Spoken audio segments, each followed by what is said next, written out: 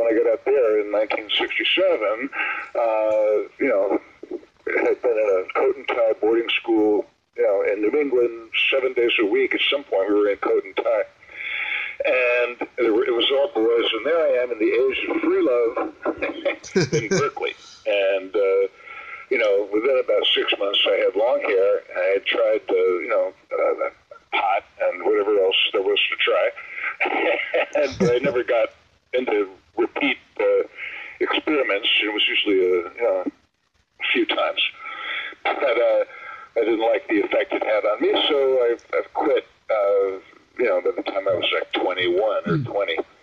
Mm-hmm. So from 18 to 20, was a period of being a hippie in Berkeley, and and uh, you know, I made a documentary of Berkeley. My brother gave me a big camera, and I mm-hmm. I just thought that was so cool, and I wanted to be a filmmaker. And my one of my teachers was the director of the San Francisco Film Festival. His name was Albert Johnson. He was an African American, and I had never seen uh, an African American guy with a PhD. and I, you know, it, it's changed a lot for me. You know, my friendship with Albert. Uh, mm-hmm. You know, uh, he knew I had a little family money, and he said, "Come on, I'm invited to the Cannes Film Festival. I got to pick out all the films for San Francisco. Why don't you come to Cannes with me?" And there we had dinner with Andy Warhol, and you know, there were people like that at the table. You know, Dennis Hopper was at the table. Small dinners for six or eight people, and I was exposed to you know quite an interesting uh, uh, gang of characters. You know, through Albert, I met Clint Eastwood, mm-hmm. Eddie Davis. Uh, Clint Eastwood looked at me and he said, "Hi, Patrick.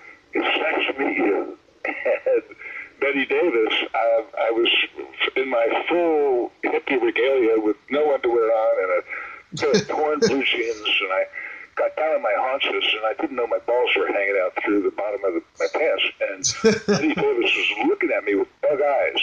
And uh, I was saying, well, Miss Davis, you know, my mother was under contract to Warner Brothers.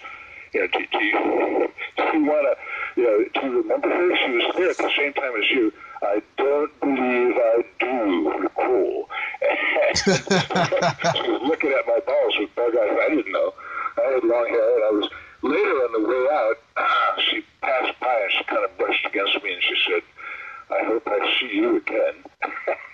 and she left. it was at Mike Nichols' studio, Zoetrope. And then, uh, you know, so I had some adventures. You know, and Albert in Cannes, uh, you know, fell in love with an Indian uh, actress named Asha Puthli.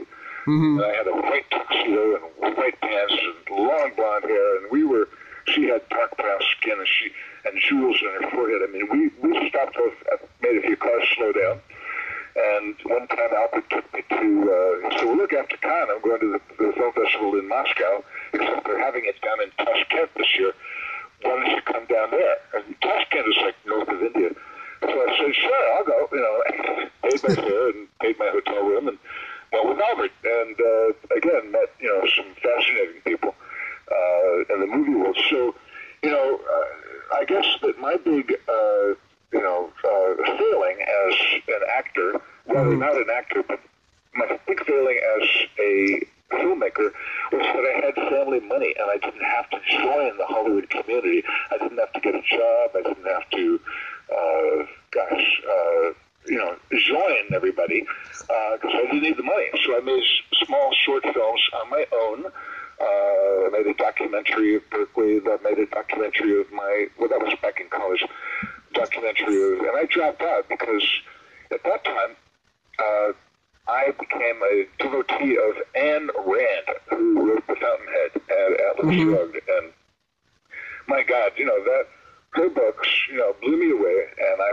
bought into everything she was saying. You know, and I became an arch conservative in liberal uh, left coast Berkeley in the '60s, in the late '60s, and there is.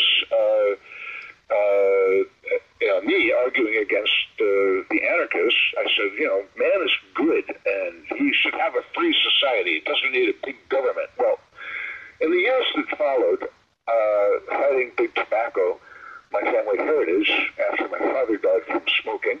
Um, mm-hmm. uh, when I became an adult, that's how I realized what I realized I really wanted to do and my real calling. Uh, after my, you know, I, I, I was looking at how the Republicans have stopped taxing tobacco uh, and stopped any regulation of tobacco and how they were taking a lot of money from tobacco. And I began to think this is really corrupt. You know, every time you raise the tobacco tax, fewer kids start smoking, uh, and you know we need to tax it. Uh, secondhand smoke kills. Big tobacco lied. They said they never thought it was addictive, and secondhand smoke wasn't really dangerous. I mean, they, mm-hmm. they went in the face of all the science, and they lied under oath. And I realized, you know what? Man does need regulation. Man absolutely, and corporations need oversight by the government. So you know what? I'm not a conservative. no way. I'm a liberal, and I became a Democrat, and uh, understood that you know there are limits on the amount of freedom that you can give uh, individuals and corporations because left to their own devices, they will just line their pockets and at the expense of public health.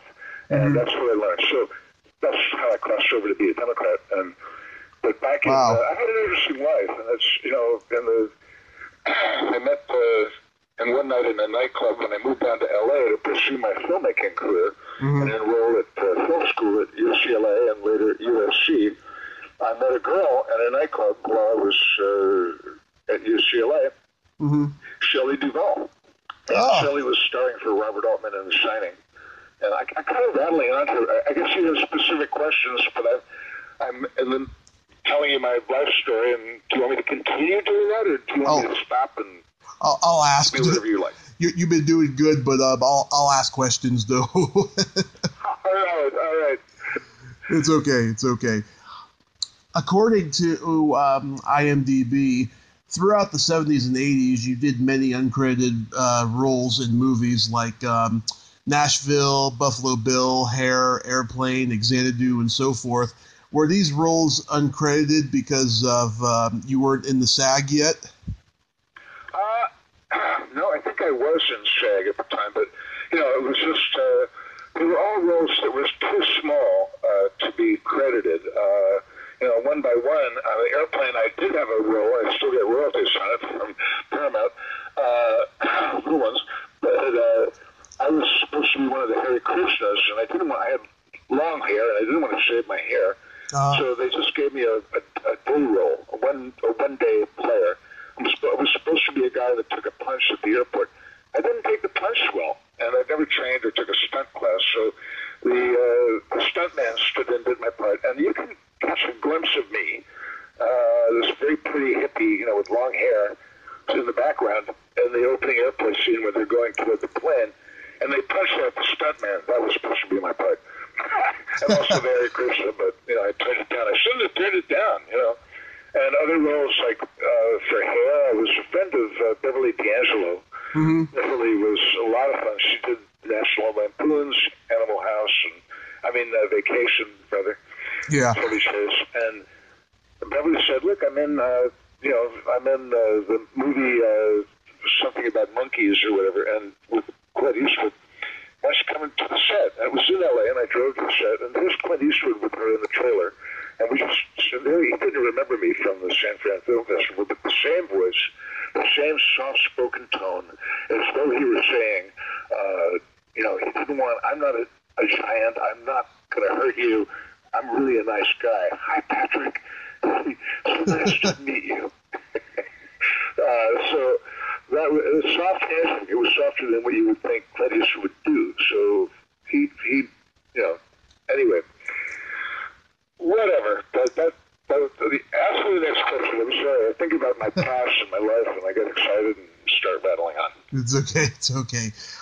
I was uh, reading. You know, you went you went and you trained in all these great places like the Strasberg Institute and Peggy Feury and Milton Katselas and so forth. You were in classes with a lot of, um, famous actors and stuff like uh, Jeff Goldblum, Michelle Pfeiffer, Patrick Swayze. Did any of these people indicate that they would go on to to uh, huge success in the industry? Well, we all thought that they would. Well, at least we knew that Patrick and Michelle, Patrick Swayze and Michelle Pfeiffer, would probably make it in the business because they had done Broadway shows, and we all knew that if you're a struggling young actor around LA and you haven't done Broadway, you know, uh, you know, the acting teachers are basically tricking you off. I mean, you know, to you know, use a vulgar expression, they uh, uh, you know say, oh yeah, you can do roles like this or that, and they name big stars. But most of the kids, even though they were equally talented as Patrick and Michelle, had not done Broadway. So they couldn't even get they couldn't get arrested. They couldn't get a part. They couldn't get a SAG card. Some of them, and they were brilliant. I mean, I sat and watched scenes, you know, produced uh, on that little workshop stage, and what it tells me is that the business is very tough to break into. Yeah. If you want to be a star, you've got to do stage and important roles in stage, not just workshops. You got to do paid Broadway and off-Broadway shows to make it and get an agent and get the respect of the agents in Hollywood. hmm so you did a lot of uh, theater in the years um, leading up to Eliminators. Uh, I, I, did a lot of training. Uh, it was really hard. I, I, don't think that I was naturally uh, talented as an actor as a young man. I was too self-conscious, and above all, I didn't really have the self-esteem. You know, I got it now, but but back in those days, I was young and I hadn't ever had therapy. I hadn't had two years of a shrink looking at me and saying. Mm-hmm. Uh, Patrick. That was really wise what you said. You're a caring person when I said something caring. I mean, that woman, Irene Kassorla, who wrote some books, Kassorla with a K, uh, she was a genius and my greatest teacher in my life.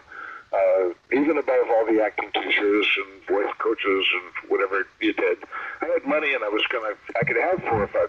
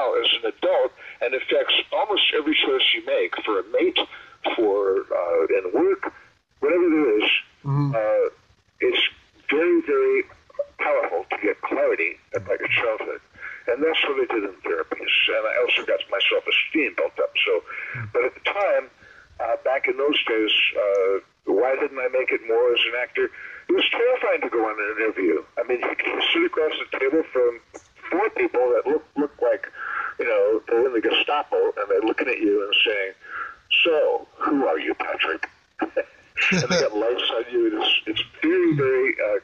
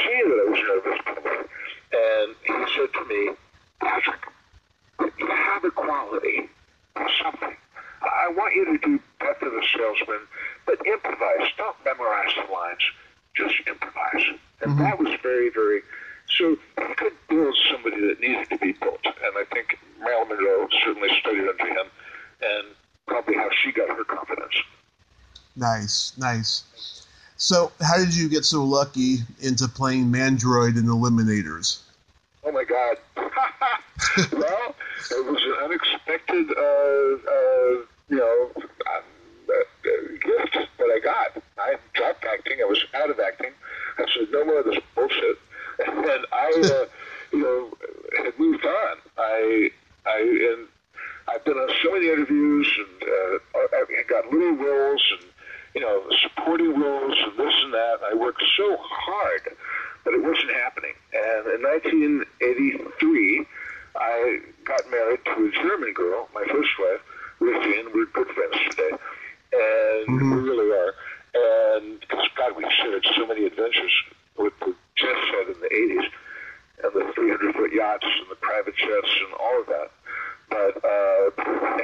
but um,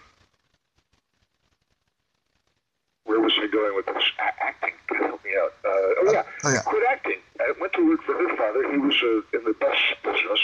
He had a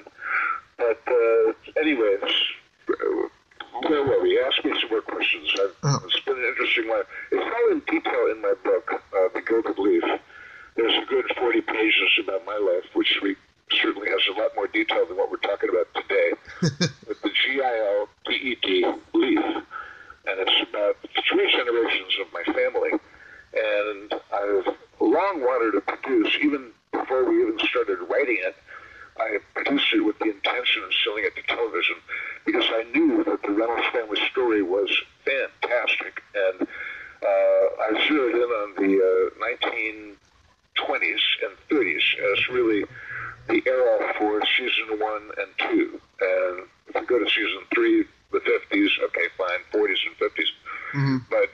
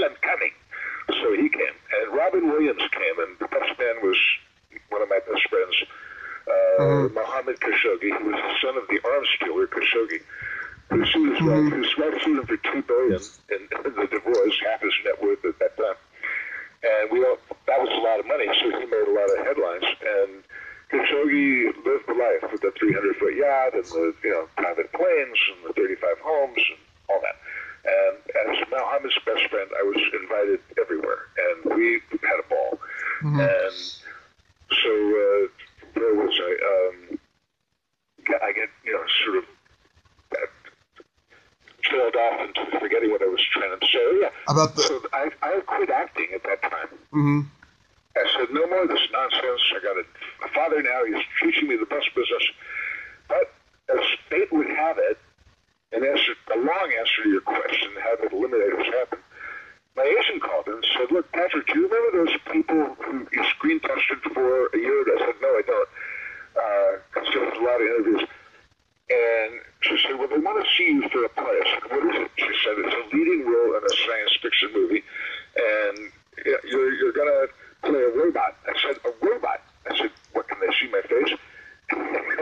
he said, well, no, the upper right corner of your face will be metal with a red eye, uh, but the three quarters of your face they're going to be able to see. I said, okay, I'll go in the interview. But now, for once in my life, not having had, now I've had therapy, I've had, you know, been around the world with chess head and hung out on, you know, in everywhere from London to Paris to South of France to, you know, around the world with some very fascinating and pretty fabulous people, uh, nice people, um, for the most part. Uh, and I got a little confidence, and I go in the interview, and for once I'm not desperate for a role mm-hmm. and nervous. And uh, I said, you know, I'd like the part. I'd, I'd be good in this. You know, mm-hmm. right the phone rang, and uh, and I went on the interview, and I got the part. And they said, yep, we're going to start filming in three months. So immediately they had me going down for fittings and costumes. You know, I had to be, my whole body had to get molded in uh, with clay and fiberglass. And that was a, that was a tickle. And uh, uh, but it felt so great, you know. And I, I was I was very conflicted because I was really down on the industry. I said I hate the business. I don't want to go back to acting class. Now I have to go back to acting class, practice memorizing lines, and delivering them the way I've been trained over the years. And and this is what I've got to do. Mhm. And I went back to acting class, back to Katselas again, and because that was I thought the best one. Although the others gave me such, you know, power as an actor, and Yeah. and training. And um, I would love to tell you the, the Charles Conrad method because that is quite fascinating. But and I can do it in a minute. But back to you know, and then they kept losing the money for the, the budget. I, I don't know if they thought that I was going to finance it because everyone thought I was worth hundreds of millions of dollars, and nobody knew that my father had disinherited all his sons.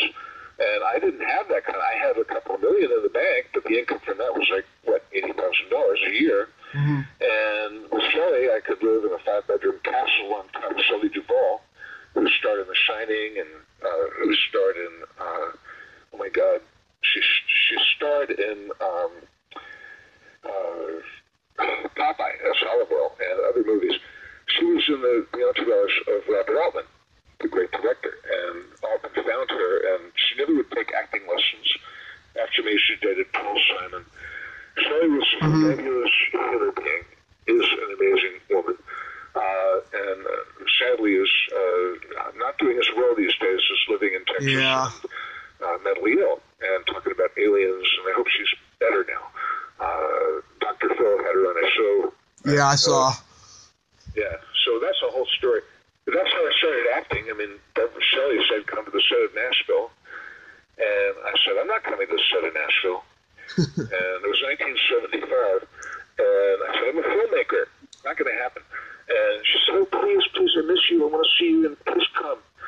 So I finally agreed to go. And Shelley goes all around the set of Nashville, talking to Jeff Goldblum. And uh, that's where I met Jeff Goldblum for the first time Mhm. and Lily Tomlin and Julie Christie and everybody in the movie. Um, and so my boyfriend's coming, and he's kind of shy, and he's not, you know, he doesn't feel like he's going to fit in. He doesn't, didn't want to come, so be real nice to him, okay? So now I go to this of Nashville, and all these movie stars are going, Patrick, darling, how are you? And they're in, in her trailer.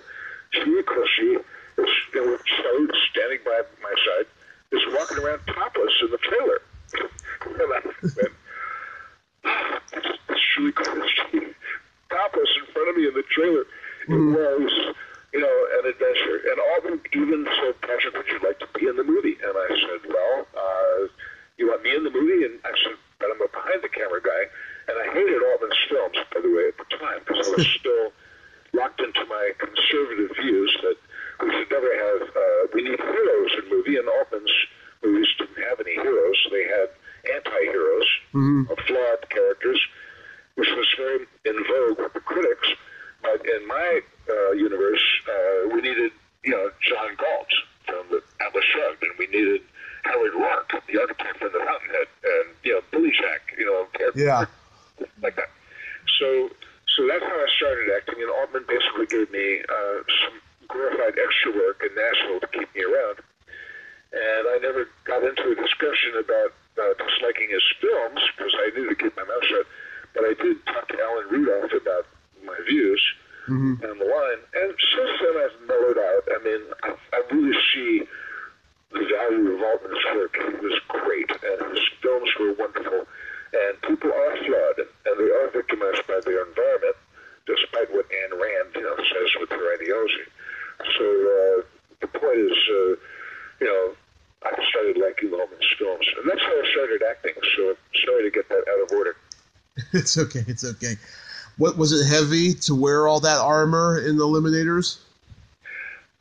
A little bit. I mean, if I'd fallen off, you know, the scenes where I fall off the back of the boat, I would have sunk like a rock. Uh, they put flotation devices in my backpack. Uh, and then within one scene, I had to fall in the sink down because the camera's shooting straight down. It had, you had to see me fading down into the water. yeah. Uh, it was low budget. Put a rope around me and hauled me up with a rope. and then one scene when I, I uh, was on the raft and put my heels in the water, uh, you know, the first day we filmed that, we had to re- reshoot it because the, you could see the cables coming out of the water, hmm speedboat. Uh, the raft kept nosing underwater, and I was sitting on the edge of the raft with no flotation uh, device this time in my backpack. And if I'd fallen off the freaking raft, I would have uh, sunk like a rock, and I'd, I'd be dead, you know. Yeah. So, so, and I said, Bessie, Bessie, you know, who's the first AD. It's the job of the AD to see about stuff like that. And her job is to make the movie and get it filmed and tell people to move their butts and, you know, get get in front of the camera. It, it, it's the good cop, bad cop school where the bad cop is the first AD and people don't like her because they're always, she's always pushing, pushing, do it faster. We don't have to, we can cut corners. It's okay. Get the shot. And the, the good cop is the director. Everyone loves the director. So now I said, Betsy, I don't have any flotation device in my backpack. Please. We're behind. We're behind schedule. Just do the shot. So I almost fell off the raft as it's going, the nose of it is going underwater, hmm being towed uh, by a speedboat off camera to, you know, get the speed going. And it was scary as hell. I was terrified. So anyway, Mhm. that stuff like that was going on, and and uh, but all in all, uh, it was an adventure. Uh, it was hot. Was Spain, like versus like Florida in the summertime. Yeah. On occasion, fiberglass, and I said, "Beg Peter, Peter, please." Let me take off my legs, you know, because I've got the master shot with the, that need the full body. And, Yeah. uh, you know, and he said, no, that, that, that, then he would relent. He was finally, he was pretty humanely concerned. And, you know, the crop of things that went from me, got me from the waist up, and I could cool myself down a little bit. It was hot, and they would hold umbrellas over me in the sun. Uh, they would take off my robot arm and then pour out, like, uh, literally a pint of sweat would come out. Mm-hmm. Wow. So it was, it was, a, it was a tough shoot. I mean, making movies is no picnic, especially low budget movies. I think in some of the later Terminator movies, uh, Arnold probably had an air conditioning uh, thing that hooked up to the robot suit and, you know, got him to, you know, least cool down. I, we didn't have that. We were in the sun a lot of the time. Yeah, when I was interviewing uh, Danny Bilson a few months ago, he told me the concept of the movie, and I agreed with him. I've always thought of this. The concept of the movie was Star Wars and Indiana Jones combined. You know, I mean, when I was growing up, this movie was on every video store shelf. It's always been one of my favorites. Um, how how was it working? about, about that, you know, I I, Mhm. I actually uh, when the- Eliminators was released in uh, well, I think it was nineteen. Eighty six. went to Cannes. We had filmed. I don't know what it was. It was. I went to the Cannes Film Festival. Yes, it was the year Eliminators got released, 1989. I went to the Cannes Film Festival, and I made a point of meeting with uh, the CBS Fox Video because I heard that they were going to release Eliminators Mm-hmm. and I they really liked me. And I said, you know, and I, I, I always thought that maybe because I had, you know, hobnobbed with them a little bit at the Cannes Festival, that they decided to make the Eliminators the pick of the month for their releases. That meant having cardboard cutouts of Mandroid in every video store, and I think I've got one somewhere, and I've got the posters, and uh, you know, it meant it meant um, having uh, a special release for Eliminators, and it, I, I like to think it was partly because I met with them at Cannes. Yeah. What was it like working with Andrew Prine and um, Denise Crosby? It was great. I mean, you know, I mean, honestly, uh, they're they're awesome. Andrew was a total professional. He knew his marks. He knew his lines. He was wonderful in the role. Denise was up and coming. She is the love child of Bing Crosby, and I, Yep. as you know, allegedly an heir to R.J. Reynolds' fortune, uh, I think that, that we were cast. Denise and I were kind of cast as a pair of heirs, and um, you know, it, it really uh, uh, didn't do the movie any harm. Denise was great in the part. She nailed the character, and, and I, I just hold her in high regard. And afterwards, we were both interviewed for Star Trek Next Generation. Uh, I they got down to three actors for the role of uh, Captain Picard, and I was one of them. And when Patrick Stewart, you know, uh, he was one of them. Uh, he had done Shakespeare. I had only done Eliminators and a few movies before that. And he was more the older, you know, he was the stronger uh, choice for the role. But I got so close to having major roles uh, like that. Uh, and they would always get down to two or three people, and someone else got it. It's a heartbreaking business. I mean, the, you get so built up, and you're you're like on top. You know, it, it can turn you into a, a manic depressive. I imagine some people might you know, go over that cliff, mm-hmm. but not me. I mean, but it was sad and heartbreaking. And I remember, you know, pounding on the walls of the mansion that I was living in. I bought this 12,000 square foot mansion in Bel Air, pounding on the walls, feeling sorry for myself. How come my acting career isn't going better? Luckily, I was in therapy, and I went to see my therapist. And I, and I said to my friend uh, that I love to tell this story to people that have depression. I said to my shrink, uh, and, you know, Irene, my acting career isn't going well. I, I'm so depressed. And she's looking at me, and she knows me, and she looked at me, and she said, and I expected tea and sympathy. I understand, dear. No, she didn't say that. She said, you want to be an actor. She said, move your ass. She said, you get up at 10 o'clock in the morning, you date starlets, you, you, you party at night with the jet set, and you're out in Beverly Hills in restaurants and clubs. She said, you want to be an actor, work harder. And as she had trained me to say, I said to her, screw you, Irene.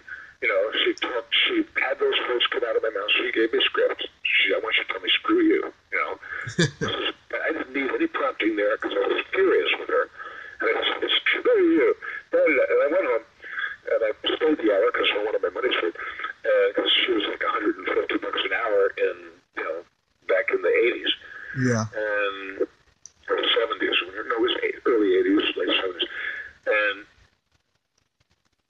later, I, I went back to Irene and said, Irene, you know, I even, I even, I was, I'm depressed again, and I'm bad, sad about my acting career, and you know, this is what it does to people, by the way. And I meet young people that want to be actors. I say, don't do it. You want to go in a casino? Would you go in a casino and put all your money on one number in the roulette table? And if they say no, I say, well, you think about it, because there's a lot more than 1 in 33 odds against you. And if they say yes, I know that they'll do the real thing. They're willing to put it all on the line. They risk their whole future to invest in acting training and committing to it. You know what? If those guys do it, this is why I have my hats off to actors. But I know that they're- it's littered with bodies who, mm, so to speak, Yeah. who are living with failure, working as Uber and Lyft drivers because they have no other education. Moving on. Uh, you know, there, there, uh, I went back to Irene. I'm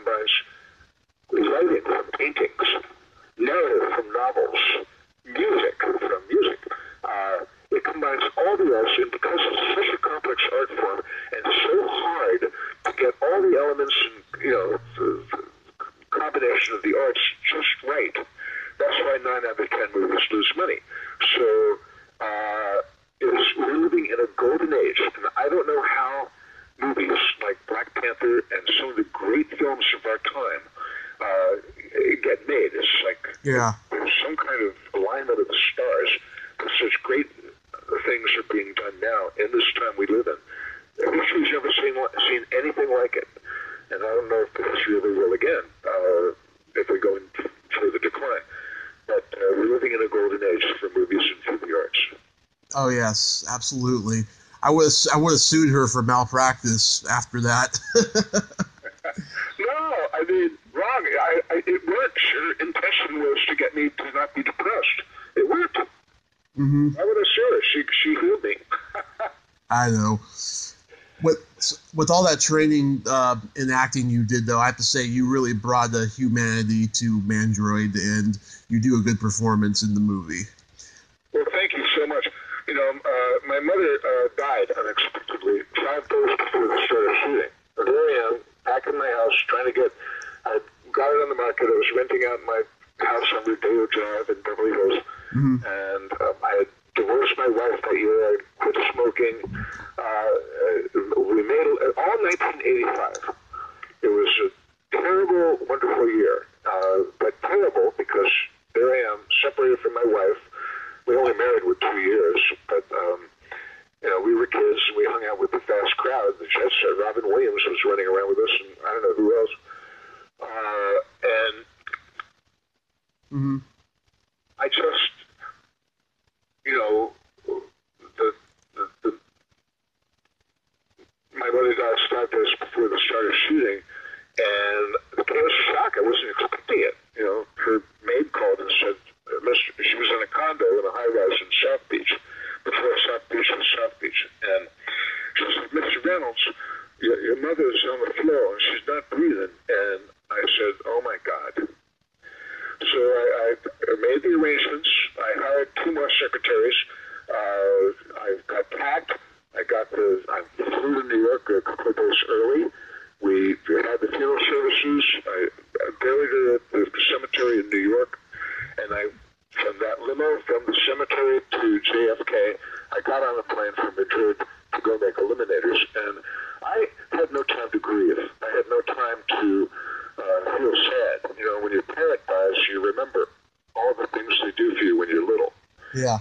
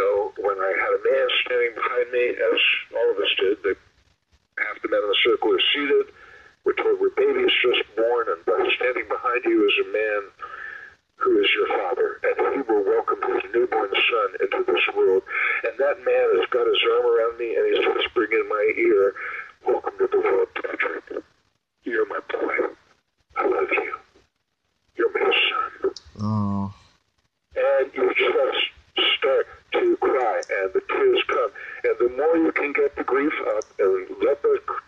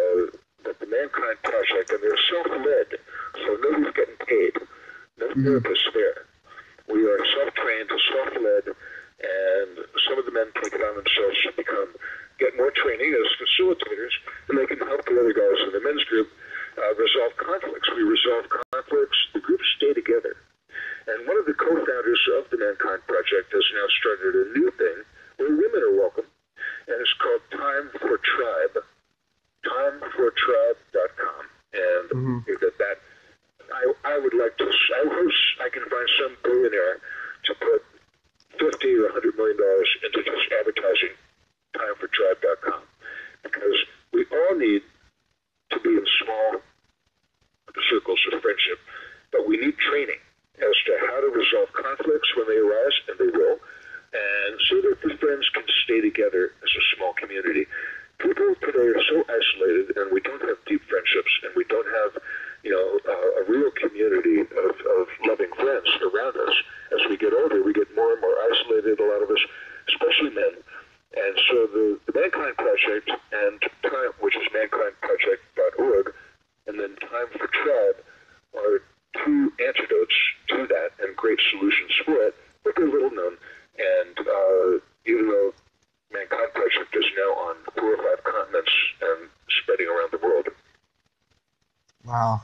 beautiful. Um, so after the movie came out, what what triggered you to completely leave acting and go into anti-smoking advocacy?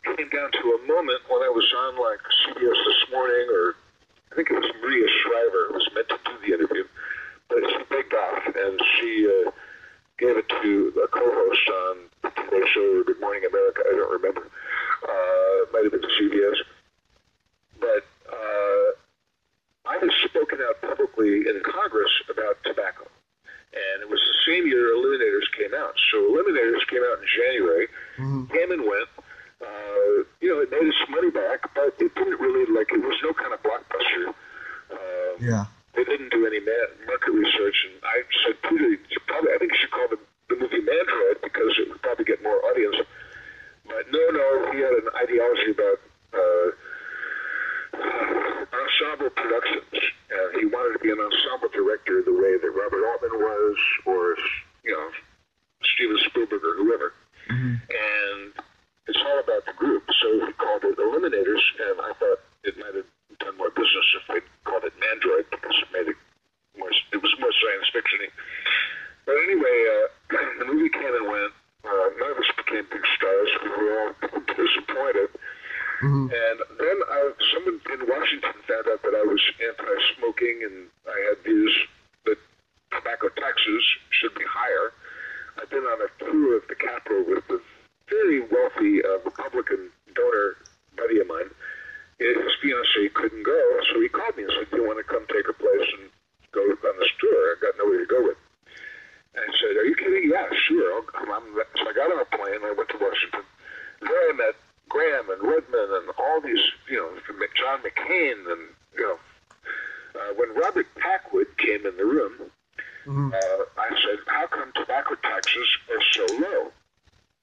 And because they were, the federal tax was 16 cents, and that week it was going to go back to 8 cents a pack, and now it's like a dollar. Mm-hmm. Thanks to Obama and the Democrats. Uh, the Republicans would not do it for eight years under Bush. We tried and tried. Anyway, the Democrats spent it. They know, and, and three million lives have been saved because of the Democrats' tobacco tax. Uh, you know, it's, it's pragmatic, and George Bush said, read my lips, no new taxes. They just have an ideology against taxes, and it's pure stupidity when it comes to tobacco. So, moving on, uh, it became clear to certain people in Washington that I thought tobacco taxes should be higher. You know, uh, Senator Packwood looked at me and said, Patrick, you're Reynolds and you want to raise tobacco taxes? You're from the R.J. Reynolds family? And I said, yeah. And he said, well, you know, we had a hearing uh, uh, this week. Why don't you testify publicly uh, that you think tobacco taxes should be higher? Because the tobacco tax is actually going to go back down to 8 cents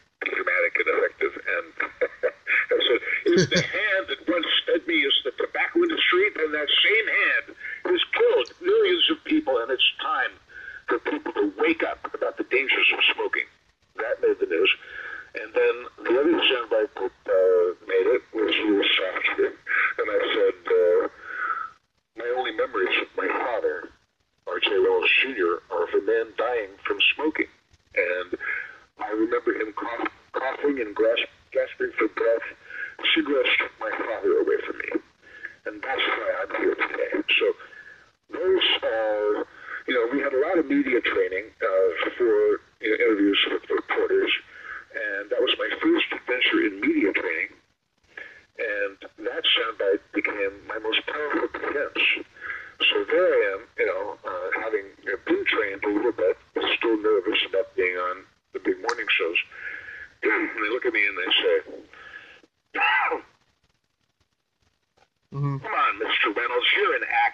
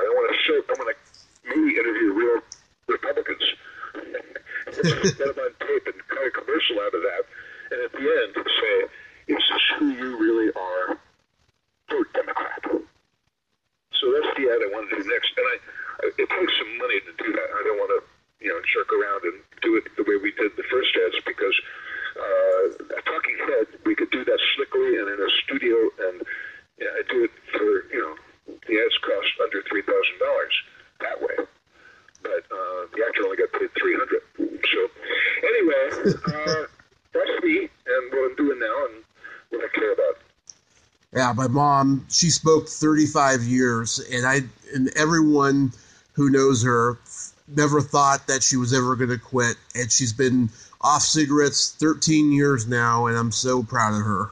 Who, who are you talking about? My mom. Oh, I thought you said your mom. I didn't hear you.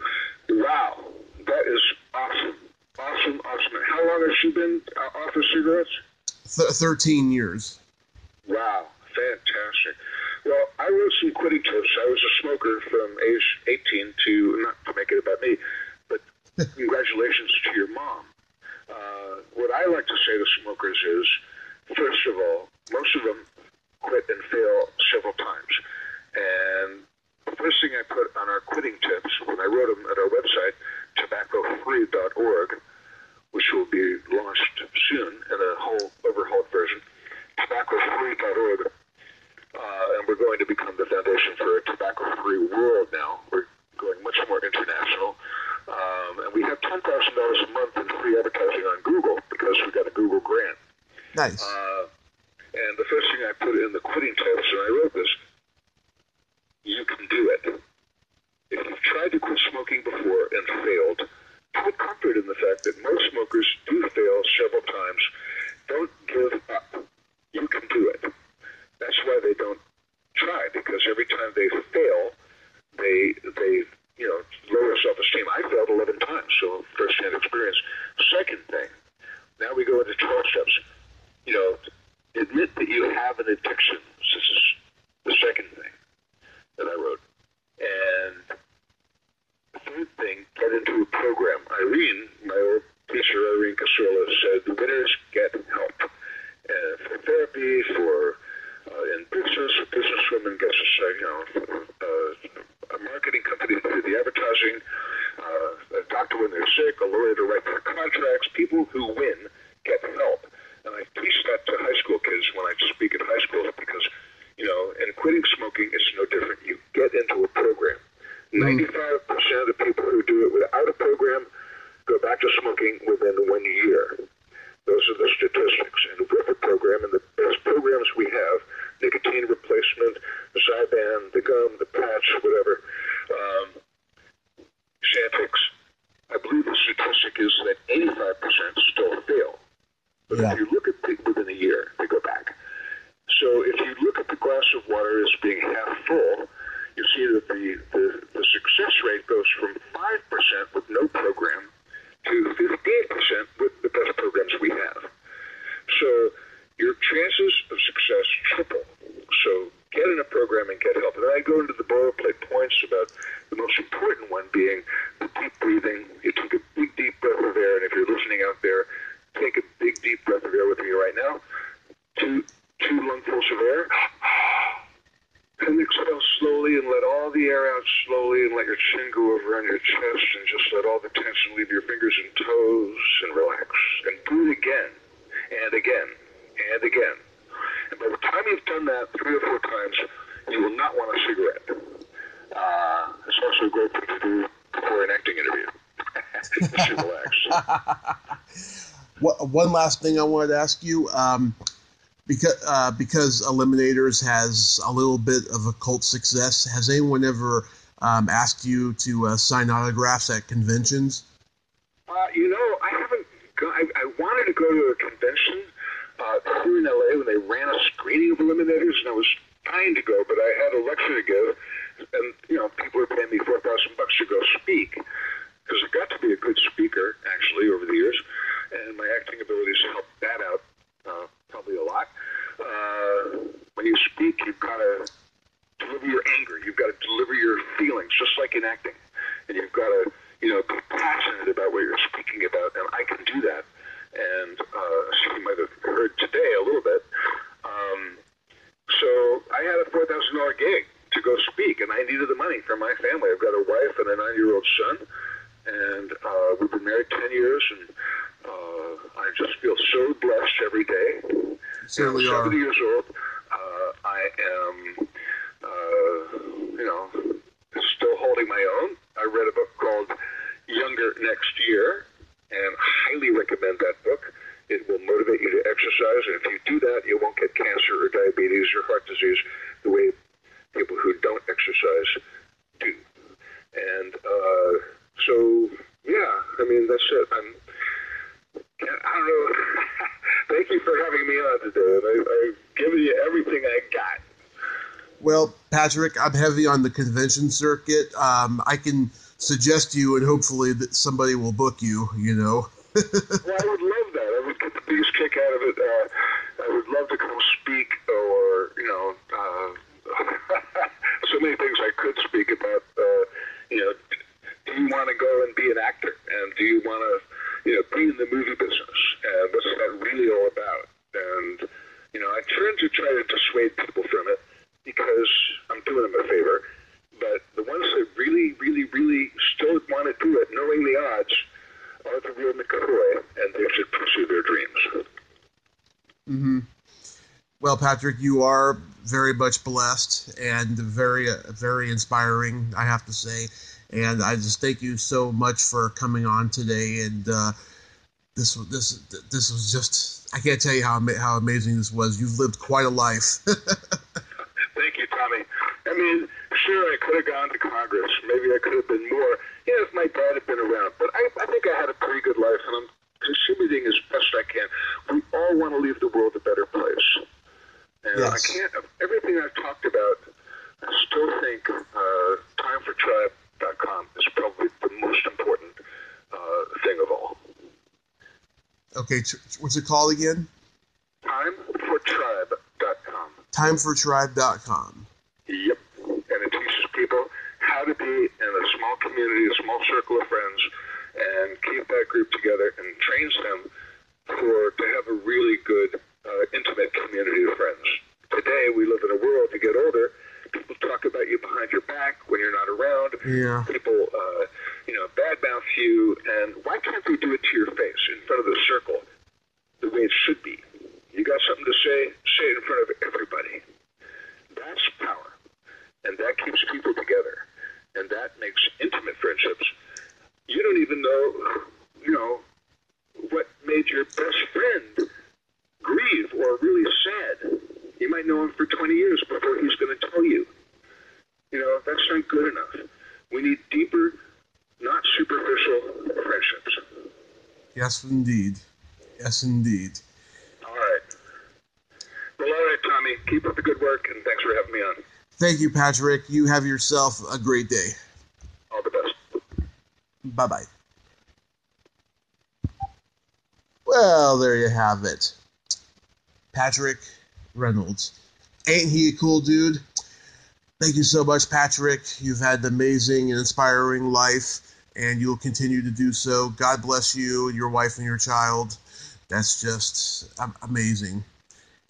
Um, if you like this video, everyone, please subscribe to my YouTube channel. Add me as a friend on Facebook. Join my Tommy Kovac comedian page on Facebook. Follow me on Twitter and Instagram and all that fun stuff. Well, that's all the time we have this week on Splat from the Past. Until next time, this is Tommy Throwback Kovac saying, There's no shame in living in the past because the present sucks. Later, dudes.